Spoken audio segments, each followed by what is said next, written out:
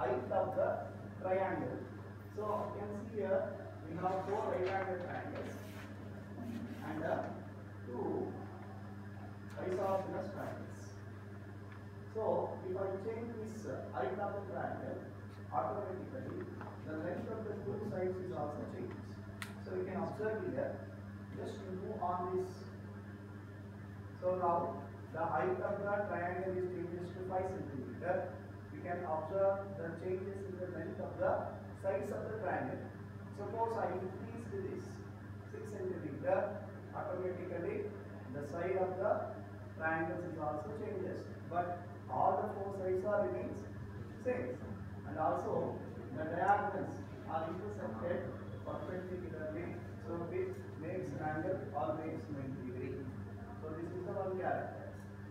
And one more character, we have four angles here. Angle A, angle D, and angle B, and angle M. So one more character is here. The opposite angles are equal. In the opposite, the opposite angles are equal. It means angle D is equal to angle F. And angle A is equal to angle B. So we can observe here angles here. So angle D is equal to 80.57. Angle F is also 80.57. So these two are equal. Opposite angles are equal. And also we can see here angle A and angle B. Angle A is equal to 99.43 and here also 99.43. Now, one more property, the sum of adjacent angles.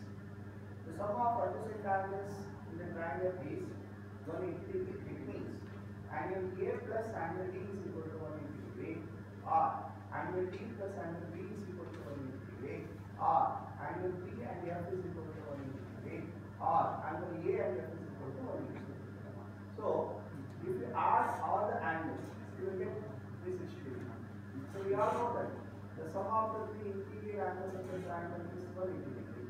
So, if you consider D, A, B is one triangle and the reflex is also a triangle. So, if you add these two triangles, you are getting 180 plus 180 is equal to 360.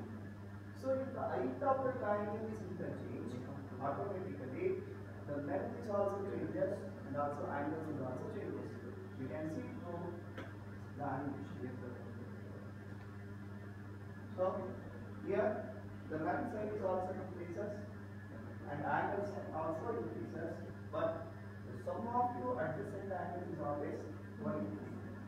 So I can consider either this part of the triangle or this part of the triangle.